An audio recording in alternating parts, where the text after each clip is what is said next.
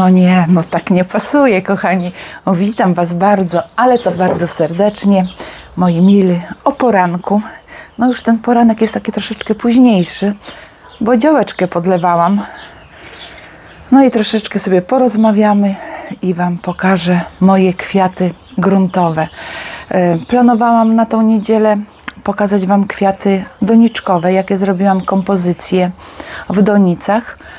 No ale przekładam to za tydzień, ponieważ nie wszystkie donice jeszcze obsadziłam tymi kwiatami. Jeszcze mi zostało parę skrzynek, a dopiero jutro pojadę na taki bazarek przy niedzieli i sobie dokupię i za tydzień Wam pokażę, jakie małe kompozycje sobie porobiłam letnie.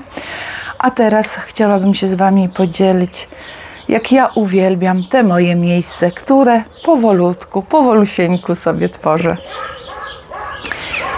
siedząc tu, kochani, no mi jest ciężko to Wam tak przekazać, ale ja tu przy tym stole, ja bym mogła siedzieć pół dnia, a drugie pół dnia mogłabym robić na działeczce.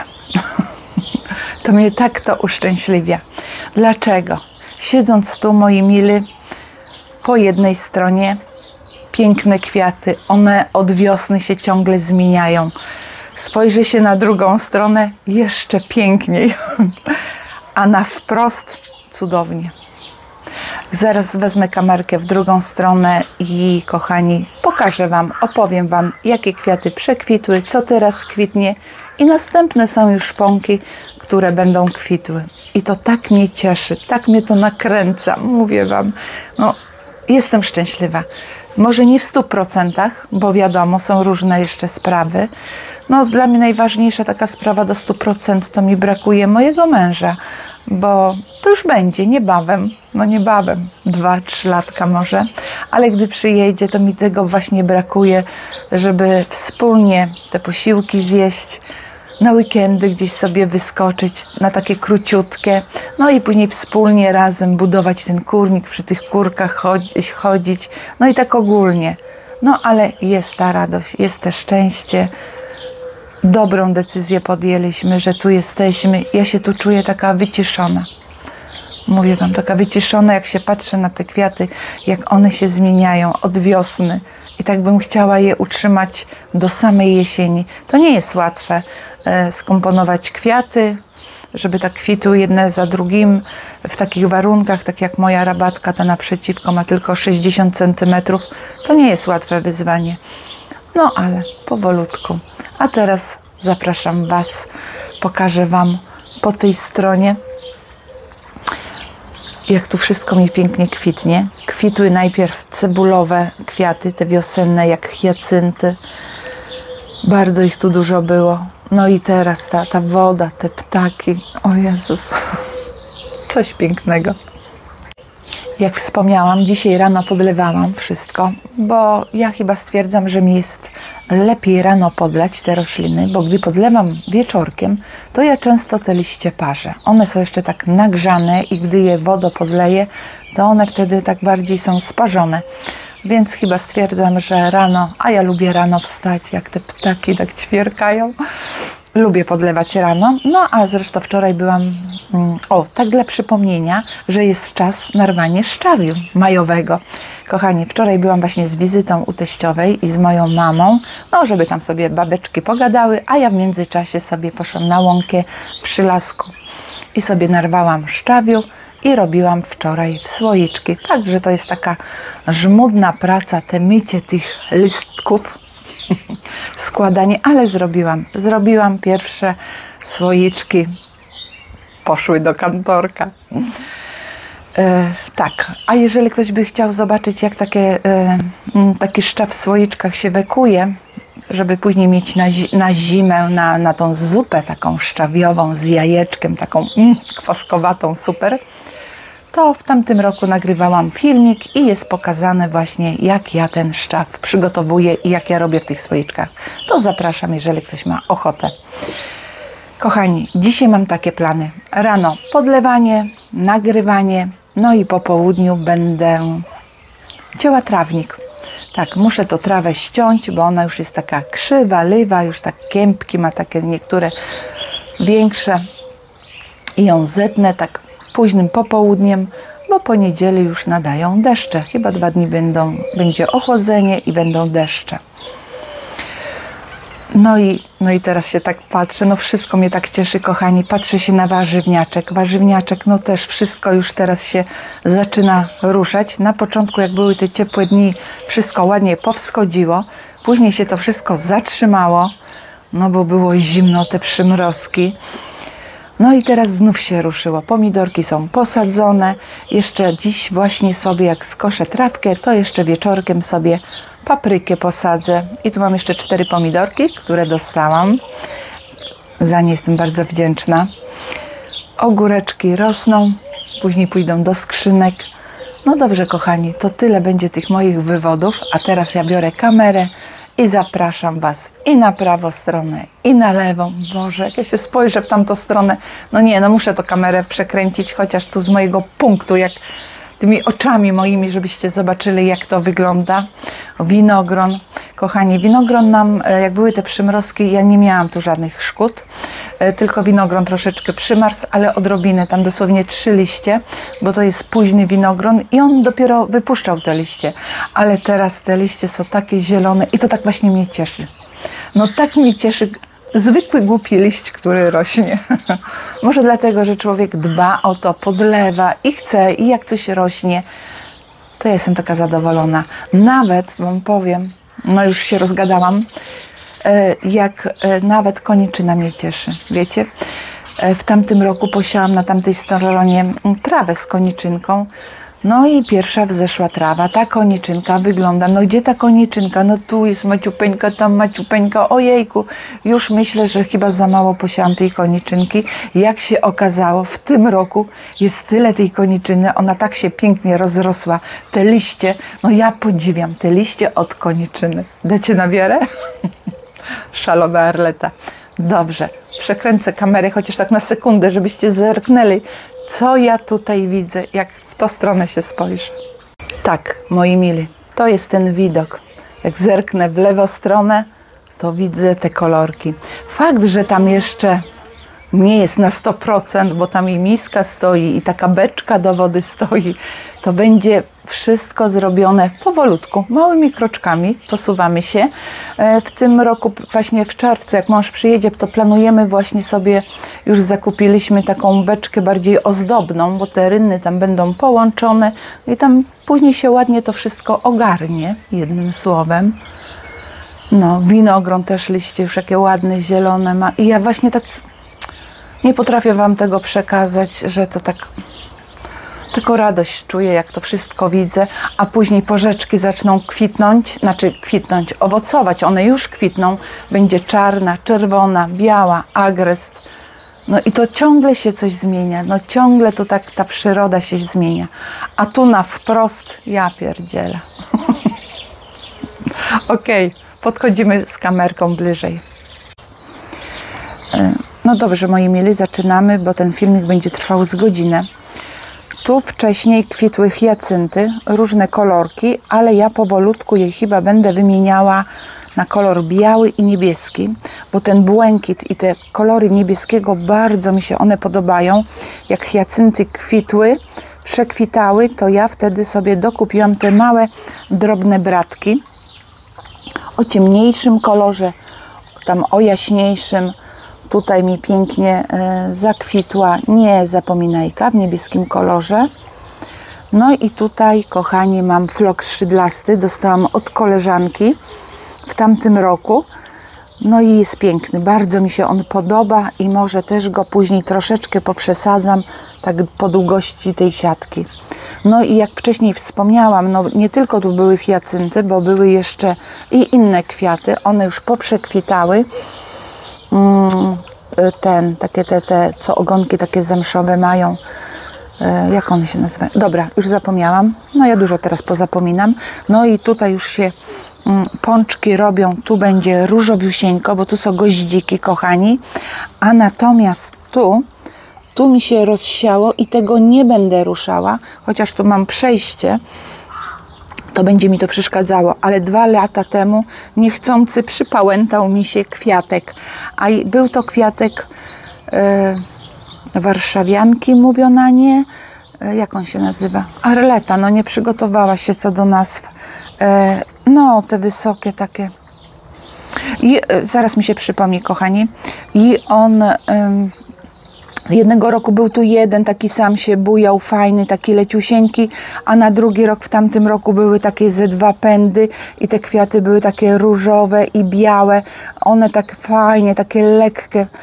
One mi nie przeszkadzają, pomimo, że są wysokie i tak ja je właśnie troszeczkę rozsiałam i on się sam też rozsiał, ale chyba bardziej e, przepikuje, może bardziej tam w ten róg, żeby one tu nie przeszkadzały te kwiaty. Kurczę, ja tu Wam napiszę, o jakich kwiatach ja mówię. Dobrze, to będzie tak. E, no, ptaki tutaj zawsze rano, jak ja im wsypię, ja siedzę, to one tu przylatują, wodę piją. No i tutaj już pięknie się. E, No, cały czas tu są kwiaty, kochani. Fakt, że tu nie jest książkowo, bo na początku tu jest lawenda. Lawenda jest większa, a z tyłu są mniejsze kwiaty. Ale mi to nie przeszkadza, bo jak ja siedzę tam z boku, to ja bokiem wszystko widzę, kochani. Wszystkie te kwiaty. No i teraz tutaj e, zawciąg nadmorski, kochani, kwitnie. Zaczyna kwitnąć. Zobaczcie, trzy kępki któregoś roku, dwa lata temu chyba, jak go posadziłam. E, skalnice. Miałam y, dwa, dwie, dwie kępki, a w tym roku też sobie dosadziłam, kupiłam dwie następne, bo mi się bardzo podobają. Białe i takie czerwone i tam, no i bratki sobie dosadzałam. Jedna paproć, mm, tu jest ta moja z domu, ta jest gruntowa, siedzi już jaka ładna, duża. Tam jest duża mojego męża paproć. Pięknie. No i wcześniej tutaj też były kwiaty oczywiście, te wiosenne, szachownica, nie, y, tam były te, o Jarleta, zapomniałaś nazw. No, no i później jak zakwitnie ta lawenda, no cały czas się tutaj coś dzieje. I z tego jestem właśnie zadowolona. Dobrze, przechodzimy na drugą rabatkę. No i ta druga strona, ten floks szydlasty, ten niziutki, różne kolorki tu są, kwitną. Zobaczcie, bardzo ładny jest, piękny. I na końcu mam ten niebieski od koleżanki. One są trochę takie troszeczkę zmechrane, bo ja rano je podlewałam, te kwiaty. O, tak jak i tutaj jest na końcu też różowy, ale jest od wody taki troszeczkę, wiecie. Tutaj sobie posadziłam stokrotki białe, ale to są te ogrodowe takie, co ja miałam w donicach i je tak podzieliłam. No i nie wiem, myślę, że może będą tam rosły. No nie wiem, to nie są takie, takie te zwykłe małe, co w trawie są, tylko te właśnie z tych donic. No będę podlewała, zobaczymy pszczółki grasują. Teraz tu jest cień, ale za chwilę będzie tu słońce. Grasują i też tu właśnie planujemy. Już nieraz wspomniałam, że będzie jeden domek tu taki ładniutki dla tych pszczółek, większy niż mieć te dwa, to zamienimy na jeden. No i tutaj trawkę sobie skoszę. No i tak jak mówię, mniska, beczka. Tu będą te rynny, jedna rynna połączona z tą drugą i tutaj planujemy sobie taką ozdobną beczkę postawić. No to tak, kochani, to wygląda pięknie. No lubię takie kolorki. Ten biele, róż i błękit. To są moje kolory. Chociaż nie powiem, ja czerwony, żółty też lubię, oczywiście. No i tu trochę za dużo stoi tych pierdółek, no ale to tak chwilowo, chwilowo. Dla mnie to by wystarczył tylko ten kogucik i ta kurka i nic poza tym. No ale tu jest kula mojego męża, no muszę zaakceptować, niech będzie, niech ją ma.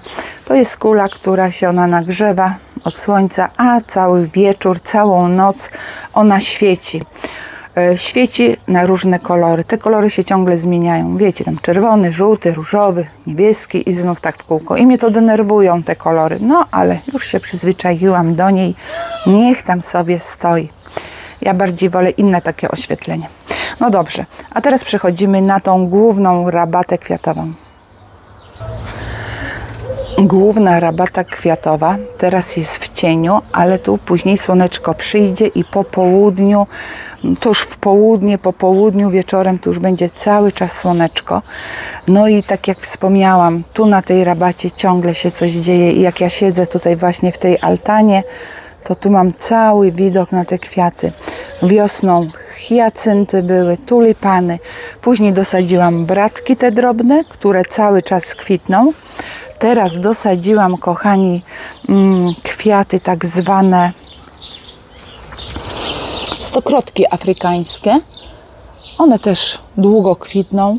To jest jedna tu taka kępka i tam jest taka różowa też kępeczka. No i kochani, yy, no co, klematysy, powojniki, tak jak wspomniałam, to jest rabatka tylko 60 cm i ciężko tu jest ją tak zorganizować, ale powolutku, powolutku dajemy radę.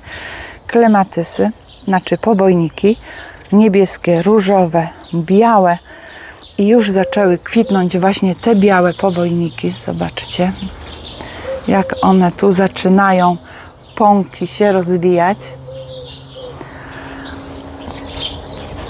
Tu też mi kwitną takie białe kwiatki, ale ja nie wiem, jak one się nazywają. Ja je dostałam od koleżanki mokre, sobie ja tu podlewałam. E, od koleżanki je dostałam i też tam sobie porobiłam takie dwie, trzy kępki. E, piwonia. Mam dwa takie krzaki o różowym kolorze. Zobaczcie, pączki. No u mnie są małe jeszcze te pączki, ale przyjdzie czas, ona zakwitnie w takim różowym kolorze. Szałwia omączona też już pąki ma. No i to, to dla mnie to też jest taki mały hicior.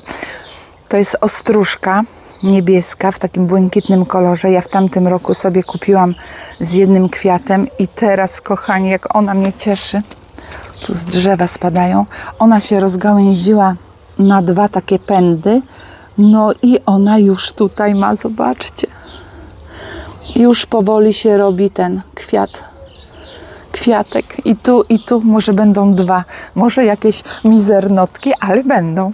Będą kwiaty i właśnie czekam. Tu mam jedną, tą ostróżkę i tu mam drugą, a trzecia mi zginęła po zimie, bo były trzy. No i tutaj tak samo są pąki. Cieszę się bardzo. No i czosnki. Zobaczcie, tych czosnków się tyle porobiło. Ojejku. Fakt, że są drobne, ale bardzo ich dużo. One się tak rozmnażają i już zaczynają pękać. Te błonki tu na wierzchu. No i będzie się pojawiał kolorek. I one właśnie, i klematysy jak zakwitną, też już tutaj będzie różowy kolorek, są pąki. Idą w górę. Później te czosnki, no ciągle się coś tu dzieje i o to chodzi, żeby się tu ciągle coś działo na tej rabacie. E, co jeszcze bym chciała powiedzieć co do tej rabaty? No mi jeszcze brakuje później takich kwiatów jesiennych.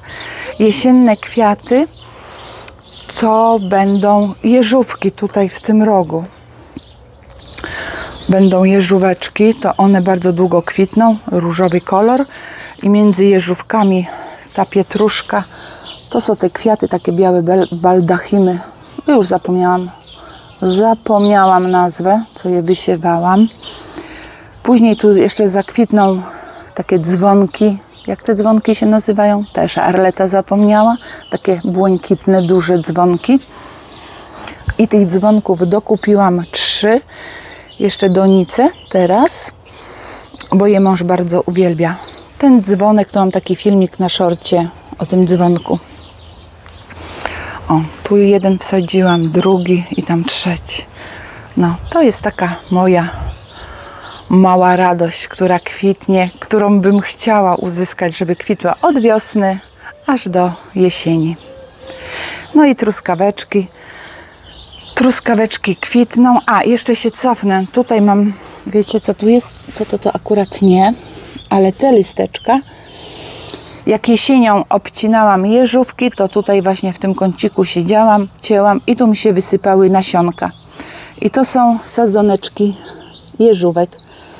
I ja tu troszeczkę powyrywam, ale parę sztuk zostawię i niech one rosną i później może na drugi rok, nie wiem jak to się właśnie w doniczki nie, ja raczej zostawię takie ze 3-4 sztuki ładne, będę dbała o nie i później córce je przekażę. Takie troszeczkę podhoduję, żeby były większe i później córce dam.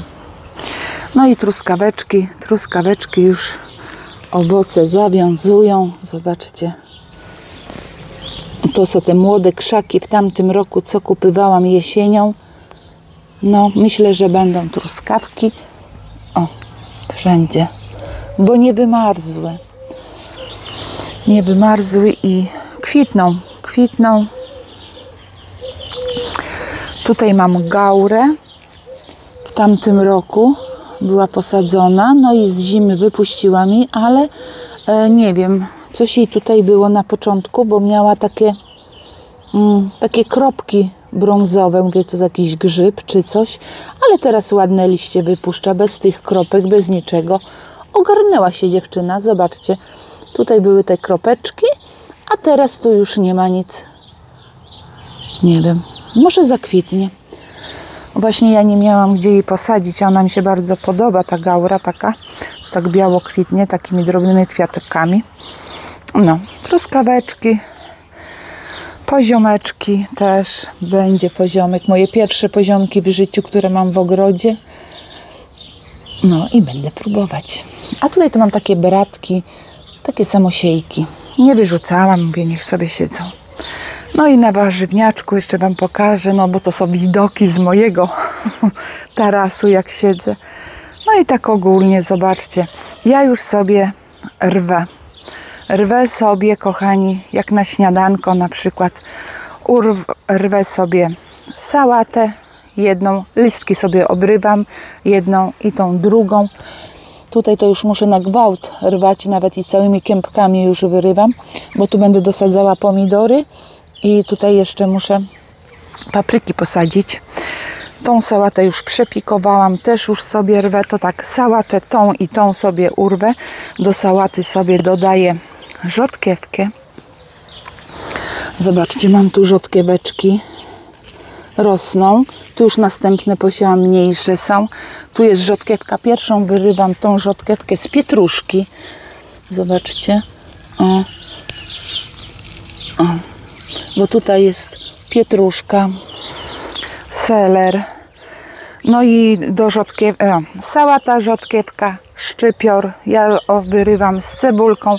Dlatego tu jest tak gęsto posadzone, ale ja taki szczypior z cebulką wyrywam, kroję to wszystko. Taką sobie sałatę robię.